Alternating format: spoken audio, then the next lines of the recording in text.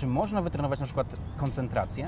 Jasne, że tak. Jak? I trenujemy to właśnie na wysokim tętnie. Nie chodzi o to, żebyśmy teraz sobie tutaj jakieś zadania matematyczne, e, czy na przykład taką setkę game, to są takie proste rzeczy, e, trenowali, ale e, bo teraz jak jest spokój, tak, miła atmosferka, Wszystko fajnie, wszystko jest ok, możemy to zrobić, ale e, na zawodach to nam się może nie do końca przełoży, bo na zawodach masz tętno, ja mam e, w samochodzie rajdowym na odcinku specjalnym między 160 a 200 uderzeń na minutę. I właśnie w taki, przy takim tętnie trzeba trenować koncentrację. I w jaki sposób na przykład?